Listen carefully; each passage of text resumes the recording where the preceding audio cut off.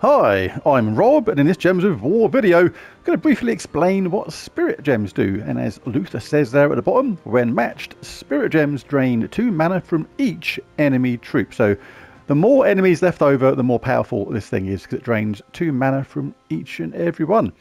But we match it, I'm going to try and match it with a blue there, so I don't really want to take that, but I'll leave it there for a minute. Right, now we can take it. So we've got this match here. The enemy will be drained of some mana. They usually have 10. We take that.